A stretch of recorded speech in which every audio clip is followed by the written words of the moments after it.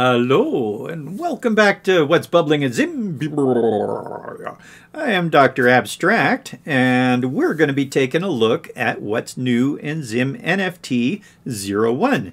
We've already done a bubbling video on uh, the sort of the introducing all of the new stuff. It can be found at the news section right here. So I'm at zimjs.com, going into the news section, and there's a little mini site right here, Zim NFT 01 has launched. So we took a look at dialogues in the last bubbling. If you're interested in that, pop on there. And what we want to look at in this bubbling is go to the little arrow here and press the arrow. We're looking at emojis. Aha! How much fun is that? So super. Here's a lollipop emoji. And you can press on these and have a dog licking the lollipop. nice, huh? and the dog happens to be wearing a dress. Put that underneath. Well, you can't tell it's a dress anymore, can you? Whatever. All right.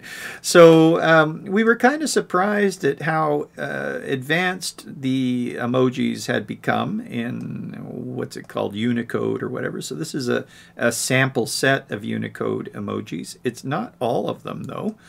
Um, but what we've done, let's throw those away. Bye-bye. What we've done is made an emoji picker right there. We have also made it uh, collapsible so that uh, all, all of the panels now and windows and panes have the option to be collapsible and we could close it. When we close it, we're using a little emoji down here to say, hey, do you want to see that again? Cute, huh? So that's just grayed out for now. Um, but if we close it, it sort of pops up and says, yeah, let's look at that. Anyway, you can pull up an emoji picker, much like you would pull up a, a color picker and let people start playing with emojis. Uh, you can populate the emoji picker with the emojis that you choose uh, from either these emojis or from more emojis. Sound good? So let's look at the tool. There's also a tool. This is uh, this is for the end user to, to play with emojis. But this tool right here is for you as you're developing. You can find out the code to put that in your code. You can also just paste the rainbow in there. But if you do that and uh, minify your code, I can't remember what happens when you minify your code, or if you're sharing your code with ZimZap or in uh, for kids in, in Slate in kids, then uh, they may not get saved to the database properly unless you change them to this U, uh, UTF code. Okay. So that's the idea. You would then copy that, and that's saying it's copied for you. You'd go to your code and paste it in there. So now there's more emojis. The more emojis, you can go to this place called, and, and thanks, Chris, uh, uh, Carol and Chris, Carl and Chris have been um, working with emojis, and there was a CodePen version uh, that's talked about in the in the actual what's it called the code for this. Uh, but anyway you can go check that out where he's done some he's done this emoji conversion. So we've sort of taken it and made a visual emoji tool and, and yet you can still go out to another oh get what happened? Oh I got to go there. So I'm gonna go and you can search for any of these emojis. So here's emojis under activities such as a man biking. Click the man biking copy it here like uh, copy so I'm just copying it there. And then go to the emoji tool and paste it right in here. Paste. So there's the little man and hit get. That's great. So uh, there it is. We've gotten that um, and we copy it. And we would go put that in our code and we'd have a man biking. I don't know if we got a man biking here. Is there already a man biking here? I don't, don't know. They're not terribly well organized. This, uh, as, as sort of indicated in the code as well, is a set of emojis that all had their codes already. And I've just taken that set. we view it here, view page source.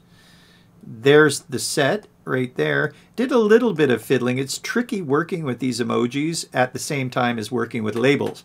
Because if you want to go show the code, it ends up showing the emoji. And you're going, no, no, no, I want to show the code.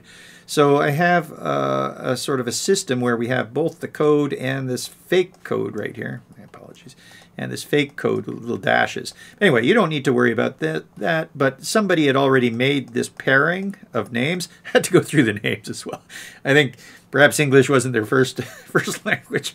Everything was plural, first of all, cars, but there's only one car there, taxis, but there's only one taxi. Anyway, so I had to go through and adjust for that, and plus there were some dubious labelings, although some fun labelings at times. Uh, but anyway, it, there's a lot of those emojis. You don't realize it's just like scrolling on and on and on. You don't realize how many there are there. It, it doesn't look that bad. Oh, there's a lot of emojis in there too. It doesn't look that bad when it's laid out. By the way, we're using the Zim wrapper here, where we just took all those and threw it into a wrapper. So there they all are. Here's the frame. Uh, that's an initial label. There's the wrapper. And we took all that stuff and stuck it right in the wrapper. So there we go. The other things are the pop-up panes. This is hardly anything. This is, um, I can't remember. This is what we're doing when we press on wrappers and doing the conversion. And uh, the conversion is actually right here. So that's the CodePen URL to the conversion. Anyway, there you go. To, to present them was just that to to pop up the windows and do the you know do that other stuff was a little bit more but you know that zim's not i mean even even this kind of thing took just a second to make because all we're doing is uh, you know a little bits and pieces here with zim specifying some things so zim is very easy to code sometimes when we stack it like this it looks like possibly more code than um, you know you might expect, but it's not really. And Zim is constantly coming in at half the size of other frameworks and libraries. Constantly, almost every time we compare something, we're sitting between 40 and 60 percent of the original code.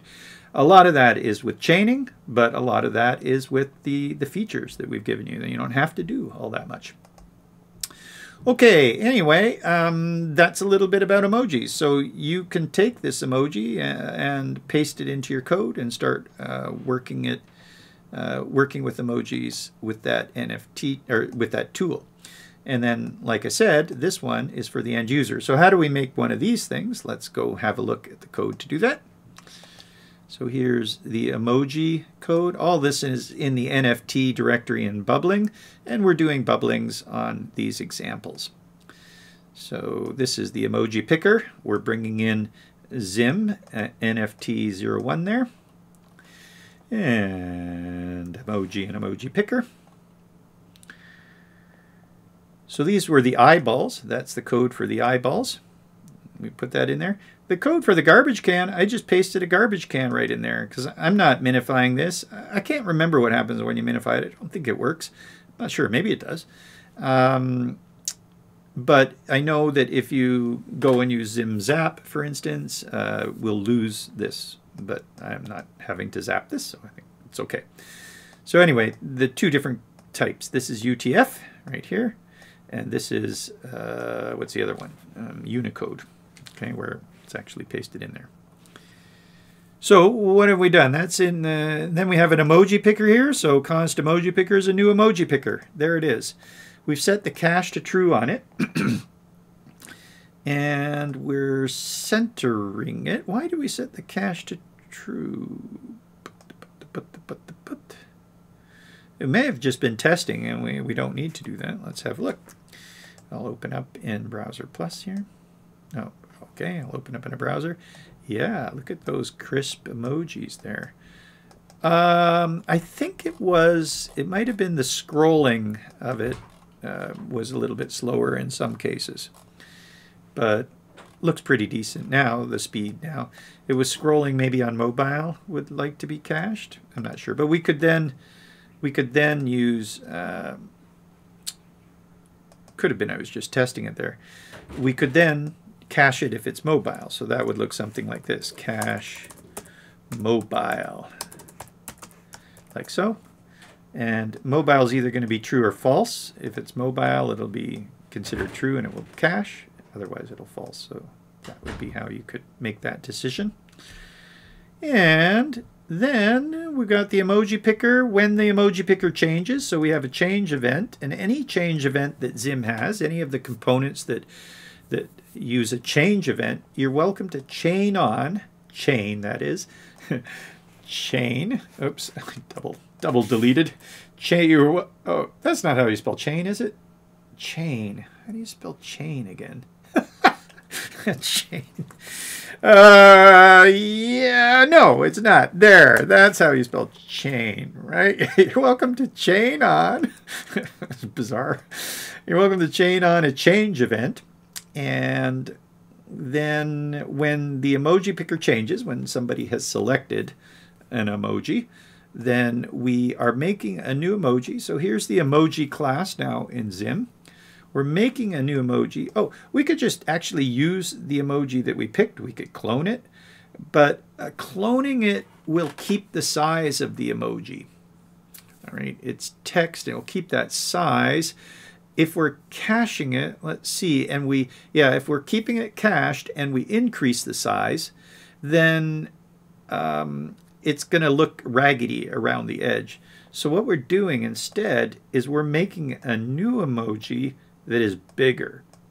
So we're using the, emo the current emoji that is selected. That's what it's called. So use current emoji to find out which emoji is selected.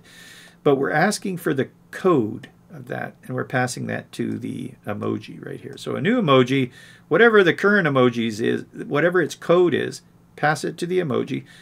I'm not sure if we made it so that it will, let's try that, if it just, we don't even need to pass in the code. We refresh here, and I get a donut.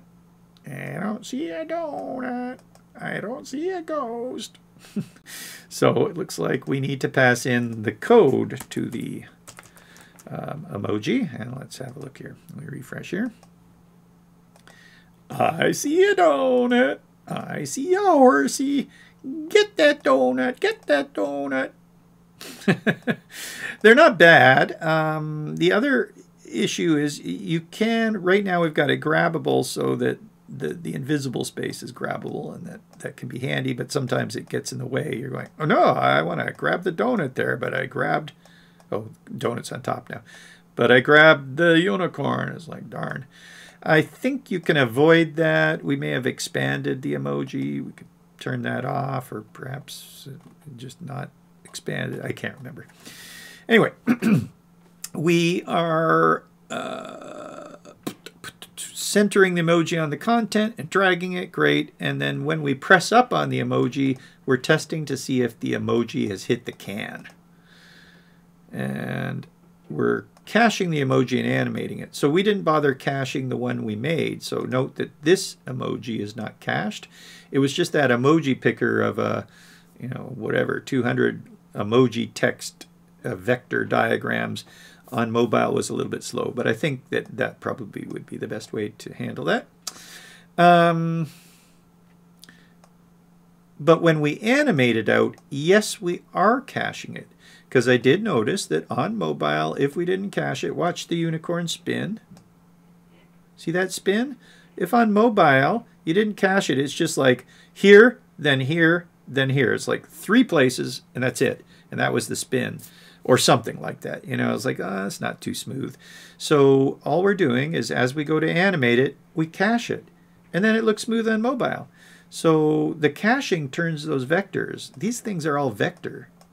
They're all vector. Okay, um, so we can make them as big as they want, and they look nice and smooth. Um, but when we go to animate it, that's animating all those vectors on a spin, and mobile doesn't like the vectors as much as it likes the cache because if you cache it, the GPU does it. All right, so there you go. A Little bit of info about that stuff. Mm, there's closing and opening the emoji picker, and we have a button. What's the button doing? Oh, it's going off to the tool. And that's some header stuff that we do each time, okay, for the arrows. Alrighty, that was the emoji. Yay! Emoji, emoji tool. This has been a bubbling. Uh, so what's bubbling with Zim? We're going to see the emojis again when we look in future bubblings on the new uh, indicator. It's got some stuff going on there. And we did another one where we were emitting, with an emitter, we were emitting emojis. Wow, emitting emojis, emoji emitter. I'm Dr. Abstract. Come and join us. Come and join us. Uh, zimjs.com slash discord, zimjs.com slash slack. Uh, we would love to help you out with Zim, see what you're making. It's uh, pretty amazing. And this has been a bubbling about Zim NFT 01. The next version, we already had Zim NFT 00, where we talk a lot about making NFTs with Zim. But there were a lot of updates with Zim NFT as well. Oh, uh, well, tune in next time to the other bubblings. And in those other bubblings, we'll show you where you can find all the updates as well. Cheers. Talk to you later.